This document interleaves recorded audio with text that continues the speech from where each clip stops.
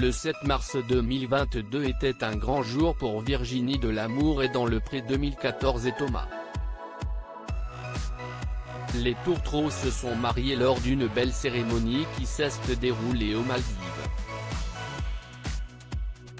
Pour l'occasion, nombreux sont les anciens candidats de l'émission de dating de M6 à avoir fait le déplacement. Et prochainement, si est un autre couple emblématique qui se dira oui devant ses proches? Avant le grand jour, la future mariée a souhaité teaser un peu ses abonnés. Il s'agit de Didier et Stéphanie de la saison 8, 2013. Tous deux se sont rencontrés grâce au programme présenté par Karine Le Marchand et filent le parfait amour depuis. Ensemble, ils ont eu un enfant. Un petit garçon que les deux candidats ont prénommé Esteban, 6 ans.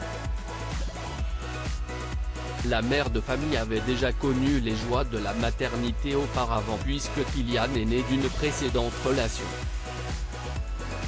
Et le 24 septembre dernier, elle a révélé qu'elle avait eu un autre fils prénommé Christopher qui aurait dû avoir 16 ans.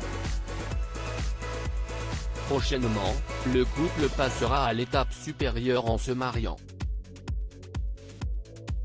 Une union qui sera célébrée le mois prochain comme l'a précisé Stéphanie le 12 mars dernier. Ça se concrétise J un mois et quatre jours, peut-on lire.